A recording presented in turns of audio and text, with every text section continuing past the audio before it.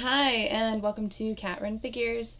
I'm your host, Caitlin, and today is Monday, which can only mean one thing. I've got my top picks for you for this new week in comics.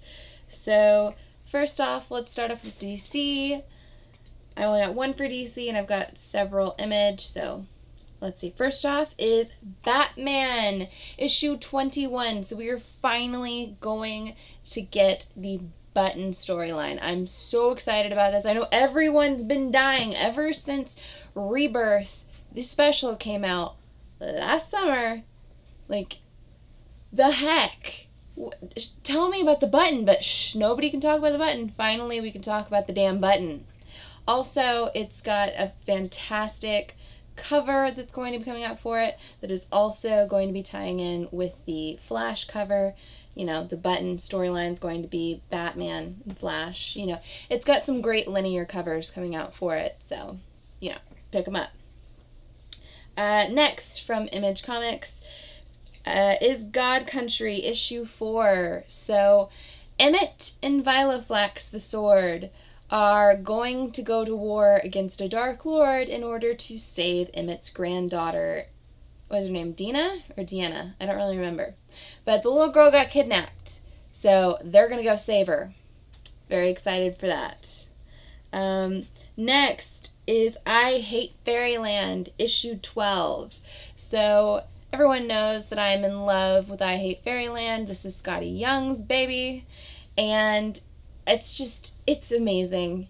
It's a grown woman trapped inside a little girl's body who's trapped inside the cheery world that is fairyland and she's been stuck there for 30 plus years. So she's pretty bitter about it. And there's no real cursing. It's all what the fluff and you gobble snobber and just weird things like that. And it's so funny. It's cartoon gore and violence it's it's everything that you know and love from Skottie Young. It's fantastic. If you are not picking this up, shame on you because you are missing out on so much. Also, I collect the Fuck Fairyland variant covers, so definitely check that out if you aren't already. Next is Plastic issue 1. So, basically what I've read from the Image Plus catalog is this is a serial killer who's in love and the love the new love of his life is making it to where he doesn't necessarily want to kill people anymore. And then she gets kidnapped. So now he's going to go on a killing spree to go save her.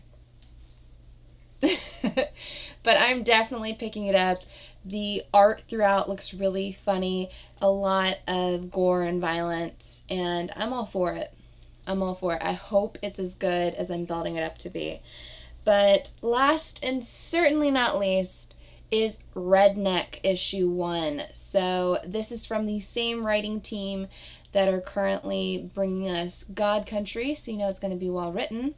But the storyline for it is a bunch of vampires are running a local barbecue and they're living off of cow's blood. So, what could possibly go wrong? Also, the art looks really great. It's really gritty. I'm loving the cover for it with those teeth biting down into the meat. I, I'm all for it. I'm definitely going to be picking it up. I'm so excited for some of the comics coming out this week. So, yeah, give me a like if you like this video. Comment below and tell me some of the cool new books that you're going to be picking out of your local shop. Um, subscribe to my channel for more comic book content. Or check out any of my older videos I have up for offer here on KatRen Figures. And until next time, I'm your host, Caitlin. Bye.